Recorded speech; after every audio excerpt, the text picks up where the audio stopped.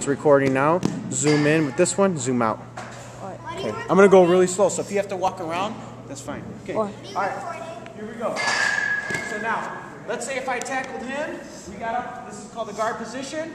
He's trying to sweep me. Okay. Using the sweep or one of the sweeps that we worked last month. Okay. Here. So let's back it up. Now, here's what we're gonna do this month. When you're in this position, the position I'm in, what you want to do is you want to stop this person from being able to sweep. So you put your hands in his biceps. So try to grab me. Gra get to my head. Get to my head. Go. Come on. Go. Go. Go. Go. See? So you're going to have to fight for positions. Keep your head up and your back straight. Once you're able to achieve that, you're going to get your hands on the belt and your elbows go in. Okay? If he doesn't open up his legs, wrap them up nice and tight, you can take your elbow and push on their thigh just a little bit.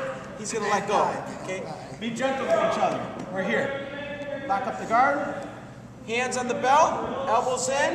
Now I'm going to take one knee. I'm to put it right in the middle of his legs. I'm going to push on his stomach and I'm going to stretch my body out to get him to open his legs. I pop one knee up like this. Elbows are in.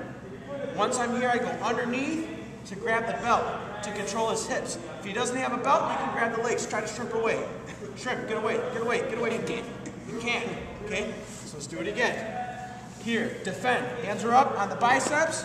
Okay, don't let him get his position. Hand on the belt, elbows in, knee in, push, break open his guard. Once his legs are open, get your hands underneath quickly. Grab the belt if you can. If not, legs are fine. Keep your back straight. Once you're here, one hand is going to go across his chest to the other shoulder. You're going to come up on your feet, okay? And what you're going to do is you're going to go to this side that your hand is out. Okay? Don't leave this hand in between his legs. Keep this hand underneath. Now I'm going to walk my body this way, keeping my weight down on my partner, and let that leg slide off. And now I'm going to come in what's called a side control. This goes underneath, this goes to his head, my right knee goes to his hip, my left leg comes out, and I'm down like this. Stay tight. Try to get away. Try to punch me. Come on, punch. Kick me. It's very difficult. I can hold him down, but it's very hard for him to get away. But I'll show you guys the escape later, okay? So let's do it one more time. So do we need to remember all this? Yes, it's real easy once you get it. So we're here. Okay, step one, get your head up and your back straight. Head up, hands in the back biceps. straight. Two, hands in the belly, elbows in. Two hands in the back. There you go. Elbows in. Three, knee in, and push, push, push till he opens his legs. Knee in, push, push. There you go. Hands underneath.